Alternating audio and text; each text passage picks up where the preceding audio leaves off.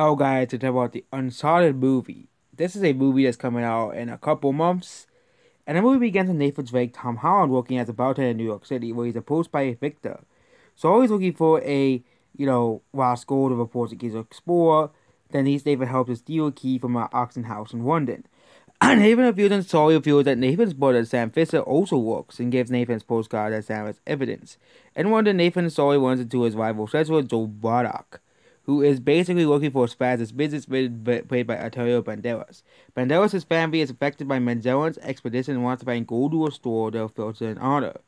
Nathan to steal the key and tell the boss the world beats out his contract to Cody Fraser.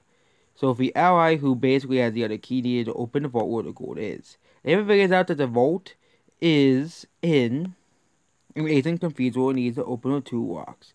One above ground and one underground.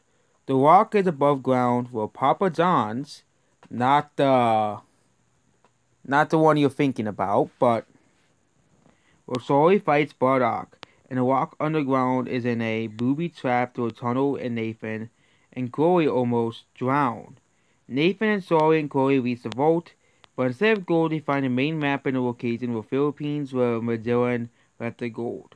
Chloe betrays them and steals the map because she was working at Banderas Oh, all along.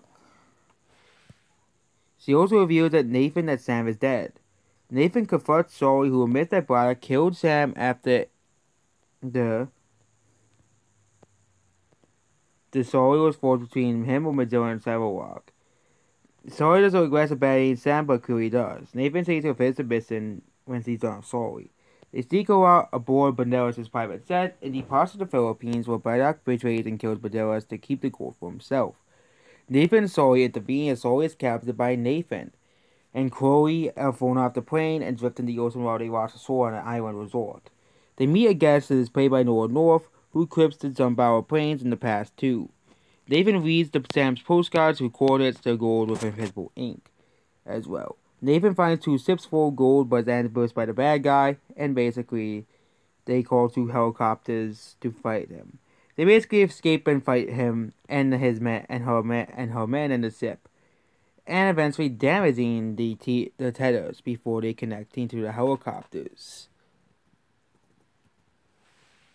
Copters.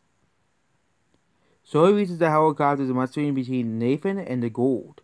This time he chooses Nathan. Braddock chooses falls into the ocean, crushed to death by falling ships. Corey watches everything but film the fake quarters that closes in Nathan. They reassume friends up and fly off into the gold. Make cracks Nathan is informed by the Philippine government about gold and received and now the source for the El Dorado. Post credit scene, Sam is arrived and is hiding, but his Nathan post cop urges him not to trust Sully. And that's basically about this video. Goodbye.